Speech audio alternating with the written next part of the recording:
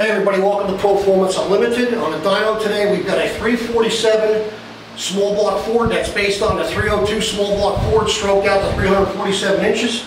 This is a 450 horsepower rated uh, combination. It happens to feature uh, an atomic EFI from MSD. Uh, it's a pretty nice unit. Uh, it's definitely a step above the, uh, the carburetor. Uh, if you live in different areas of the country that are susceptible to, to altitude changes, uh, this thing will self-correct as you're driving it.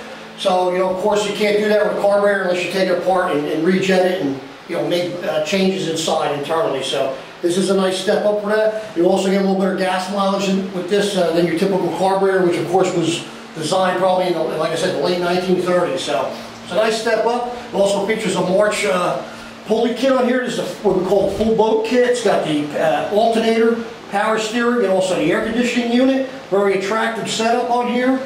Uh, really finishes off the motor nicely.